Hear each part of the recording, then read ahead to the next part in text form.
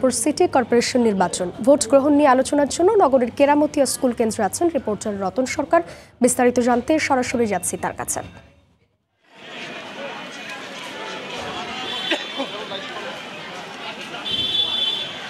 এই নির্বাচনকে কেন্দ্র করে দীর্ঘ পাঁচ বছর পর কিন্তু একটা উৎসব মুখর পরিবেশ কিন্তু সৃষ্টি হয়েছে। আমরা পুরো শহর জুড়ে, পুরো নগরী জুড়ে আসলে কেন্দ্র কেন্দ্রে মানুষের যে উপস্থিতি, ঢল, শুধু ভোটার না আসলে এই ভোট যারা ভোটার নন তারাও কিন্তু কেন্দ্রের কাছে এসে দাঁড়িয়ে দেখছেন যে ভোটের প্রক্রিয়াটা কীরকম কেমন চলছে ভোট তারা যে ভোটটি দিয়ে তাদের পছন্দের প্রার্থীকে জয়ী করতে পারবে কিনা সেটি নিয়ে কিন্তু আর অল্প কিছু কিছুক্ষণ পরে আসলে বিকেল সাড়ে চারটায় এই ভোটের প্রক্রিয়াটি শেষ হবে ভোট গ্রহণ প্রক্রিয়াটি।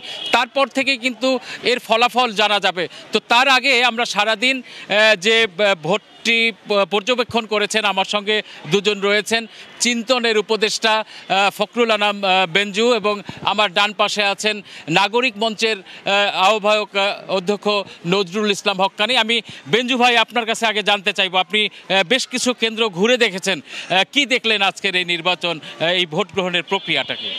না, ধন্যবাদ জানাই। আসলে যে নির্বাচনী যে প্রক্রিয়াটা, যেহেতু ইভিএমে ভোট হচ্ছে এবং এই প্রথমবারের মতো রংপুরের প্রত্যেকটি আস মানে কেন্দ্রে কিন্তু ইভিএমের মাধ্যমে ভর্তি হচ্ছে।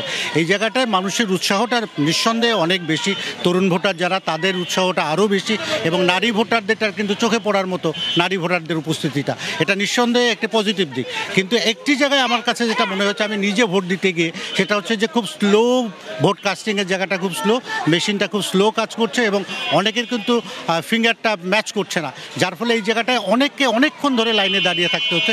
সেই জায়গাটা একটা ধৈর্যচ্যুতির ব্যাপার আমি লক্ষ্য করেছি। তাছাড়া উৎসবের যে বিষয়টা, সেই উৎসবটা সকাল থেকে একটু কম ছিল, যেহেতু এই অঞ্চলে শীতের প্রবাহটা বেশি। আজকে সকালে শীত বেশি ছিল, কুয়াশা বেশি ছিল। এটা কেটে যাওয়ার পরে সূর্যের আলো যত বেশি বাড়ছে, তত বেশি কিন্তু মানুষের উপস্থিতিটা বাড়ছে। এবং শেষ বিকেলে এসে আর এক ঘণ্টার মতো বা দেড় ঘণ্টার মতো ভোট কাস্ট হবে। এর মধ্যে কিন্তু মানুষের উপস্থিতিটা অনেক বেশি বেড়েছে। যারা হচ্ছে হলো ভোট দিতে আগ্রহী এবং যারা ভোট দেখতে আগ্রহী সব কিছু মিলেই যেটাকে আশঙ্কা করা হচ্ছিল যে রংপুরে হয়তো উত্তাপটা থাকবে না, সেই উত্তাপটা কিন্তু ছড়িয়েছে এবং এটা নিঃসন্দেহে আমরা আশা করব যে আগামী নির্বাচনগুলোতে মানুষ এইভাবে গণতন্ত্রমুখী হবেন, ভোটমুখী হবেন এবং ভোটের প্রতি যে মানুষের আগ্রহটা, এটা আরও বাড়বে বলে আমার যেটা মনে হয়েছে। আমরা সাম্প্রতিককালে কিছু নির্বাচনে মানুষের অনাগ্রহের যে পরিবেশটি সৃষ্টি হয়েছিল, সেটি আসলে আমরা হকানি ভাই মানে পরিবর্তন দেখছি যে মানুষের অংশগ্রহণ, উপস্থিতির এই বিষয়টি। তবে দুপুর দুইটার সময় প্রধান নির্বাচন কমিশনার জানিয়েছেন যে পঁয়তাল্লিশ শতাংশ ভোট আসলে পড়েছে এ পর্যন্ত। তো শেষ পর্যন্ত কত, কেমন, কি পরিমাণ ভোট প্রদান হতে পারে বা এই বিষয়গুলো একটু যদি আপনি বলতেন। হ্যাঁ নির্বাচনী, এই স্থানীয় নির্বাচনে, সিটি কর্পোরেশন নির্বাচনে রংপুরে এবার অসংখ্য প্রার্থী, মেয়র সহ কাউন্সিলর পদে দাঁড়িয়েছেন। নির্বাচনটা একটা উৎসবমুখর পরিবেশে হচ্ছে। যে অভিযোগটা, অর্থাৎ এখানে বোঝা যাচ্ছে, যদি প্রতিদ্বন্দ্বী প্রার্থী নির্বাচনে অংশগ্রহণ করে, তো নির্বাচন যে উৎসবমুখর হয়, মানুষ যে নির্বাচনে অংশগ্রহণ করে, ভোট দিতে স্বাচ্ছন্দ্যে আসে এইবারে সিটি কর্পোরেশন নির্বাচনে, রংপুর সিটি কর্পোরেশন নির্বাচনে দেখা যাচ্ছে। আমি গ্রাম অঞ্চলের কেন্দ্রগুলো ঘুরে দেখেছি উৎসব মুখর পরিবেশ। এটা কল্পনাতীত পরিবেশ এবং নারীদের, দলে দলে নারীদের যে অংশগ্রহণ, এটা কল্পনা করা যায় না। এবং কেন্দ্রগুলোর লাগোয়া, সেখানে মেলা বসেছে। নানা মিষ্টান্ন ভাণ্ডার নিয়ে মানুষ মেলায় সামিল হয়েছে, মিষ্টি খাচ্ছে, ভোট দিচ্ছে। আমি সকলকে জিজ্ঞাসা করছি, ভোট কেমন হচ্ছে? তারা বলছে, খুব ভালো হচ্ছে। কিন্তু কিছু কিছু কেন্দ্রে অভিযোগ তুলছেন যে ভোটের ধীর ধীর গতি। এইবার রংপুরে আমার মনে হয় প্রথম ইভিএমে সমস্ত কেন্দ্রে ইভিএমে ভোট হচ্ছে। এই ভোটটার মধ্য দিয়ে যেটা প্রমাণিত হচ্ছে যে ভোট মানুষের যে একটা সংশয় ছিল, মানুষের একটা কথা ছিল যে আমরা ভোট দিতে পারব না, ভোট হচ্ছে না। এই সিটি কর্পোরেশন নির্বাচনের মধ্য দিয়ে সেই সংশয় মানুষের কেটে গেছে। গ্রাম অঞ্চল এই যে রংপুর সিটি কর্পোরেশন, সেই সিটি কর্পোরেশনের দশ বছর বয়স হলো। এই সিটি কর্পোরেশন দুইশো পাঁচ বর্গ কিলোমিটার, মিটারের। এই সিটি কর্পোরেশন মানুষের আকাঙ্ক্ষা যে এই সিটি কর্পোরেশন এর আগে সরকারি যে অনুদান, সরকারি যে সাহায্য পায়নি, গ্রামগুলো, গ্রামের যে অন্তর্ভুক্ত যে সিটি কর্পোরেশন, সেই সিটি কর্পোরেশন কিন্তু এখনও গ্রামের আবহাওয়ায় পরিণত হয়ে আছে। এখনও সেখানে কোনো প্রকার বিদ্যুৎ, আলো, রাস্তা, সড়কবাতি হয়নি।